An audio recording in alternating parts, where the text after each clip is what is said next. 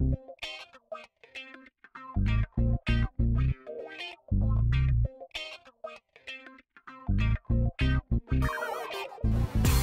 in the cabin of the newly launched Hino 700 series heavy duty truck with a 16 speed automated manual transmission, yeah, AMT.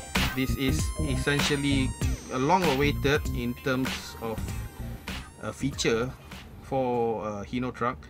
It's a 700 series truck which was actually launched earlier this year, a revised 700 series truck and now they've launched the automated manual transmission version of this truck. I'm sitting in this Hino 700 SR1E prime mover. Is this the same one with the lift up rear axle? So it's also essentially it's rear wheel drive but two wheel drive with the rear axle liftable so that you can actually save fuel by it has less drag in terms of uh, when it's on the road when you don't have any cargo any load at all. So now same model it has all the safety features you want. Uh, airbags uh, abs brakes nice cabin with all the safety features easy liftable cabin and all. Everything's basically quite auto automated but they also added this automatic transmission for you this is a zf AS Tronic transmission. So an amt gearbox manufactured by zf famed for their gearboxes for the transmissions. So you're getting the best. You don't have to shift yourself anymore. You can let the truck do everything for you. There's also manual plus minus controls if you want to do. And it's quite good in that sense.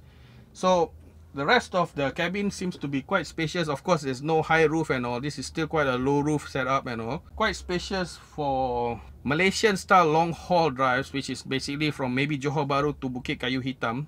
So it's good enough because the seats are also air suspension air sprung and all. Yes. Air sprung suspension seats and all which makes it a lot comfortable. Then there is also passenger seat and another uh, third passenger seat up front also and also a bunk which is uh, actually quite hard. One thing I would have liked if, if the bunk bed here was had a bit better cushioning but aside from that the seats are very very nice. What else is there? Plastic seems to be nice. A lot of storage compartments inside the the, the truck. And it's well made for a Japanese truck and now with the automatic transmission Hino seems to be playing up and trying to catch up with the European trucks and all. I like things with automatic transmissions because in terms of this kind of trucks it actually reduces driver fatigue. I mean your drivers if you're a driver you know long hours on the road changing gears especially a manual transmission and if you know the Hino manual transmission 16 gears high low a lot of switch gears to play it tends to of course you get used to it but it's still tiring because you have to clutch and then you have to change gear and then you got to switch up low gear high gear you got to know what you're doing. So one less thing for the driver to worry about more that they can see outside and all. So it's quite good. Now this truck is also quite unique in that it was also fitted with collision warning alert sensors in the truck. So you can see this is aftermarket an aftermarket system which you can ask Hino dealers to retrofit into your trucks after you've made your decision to purchase a 700 series or 500 series where it has blind spot cameras, collision warning sensor up front so that with a buzzer so that it gives you a loud beep when it happens. It also has a camera at the back which you can attach to the trailer or whatever load you have and and this one is quite unique. You can see that this funny thing sitting right at the back of the this cabin and all. This viewers is something by Webasto. It's basically an air cooler. This is like what you get built into say something from Scania or from Volvo in their trucks where it's built-in system. It powers it is powered by the battery. You don't have to let the engine run on idle. When you're waiting for your cargo to be loaded you can just run this air blower via battery power and it's made by Webasto. And they have decided to display this unit here it's a retrofitted unit which means that you can actually add on to the truck after you have bought it. So anybody can do it. It is by Webasto. I will get the details and put it in the description below also. And it's quite good. Let me on the thing. So, you can hear the wind blowing now. It's on 22 degrees. It's a chiller.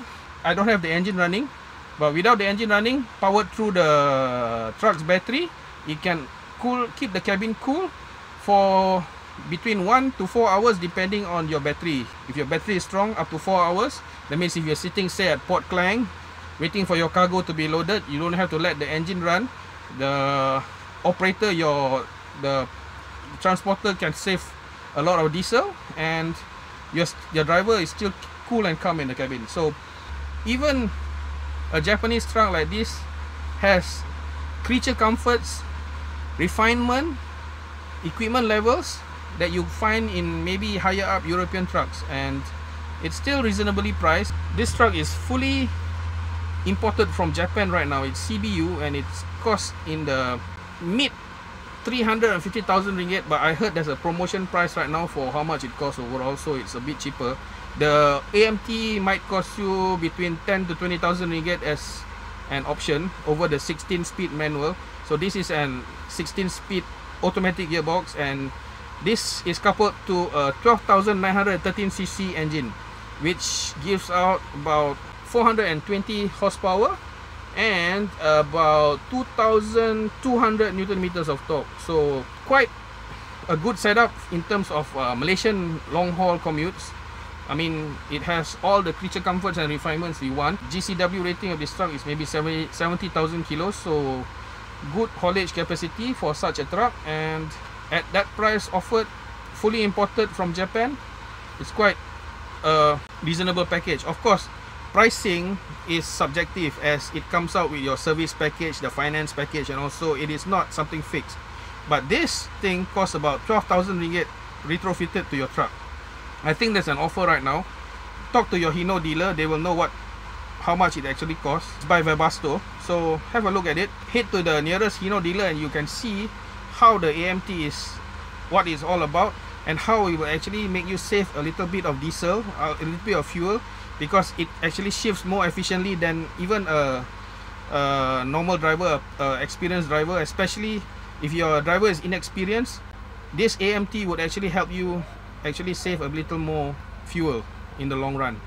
A lot more with a lot more savings in terms of everything from less driver fatigue to more productivity. In fact, better uptime because the clutch is controlled all by electronics, which means that nobody to ride the clutch, nobody just steps on the clutch and just holds it and premature wear and all might happen so an AMT will actually solve such problem it is good that Japanese truck makers are now moving to that path and we can see more of it more of Japanese trucks having the AMT setup. And I like this this uh, Webasto cooler. It just keep the cabin cool. Right now I'm sweating less inside this cabin which is the engine is not running. Seriously you said it it's at 22 degrees right now and it works seriously fine.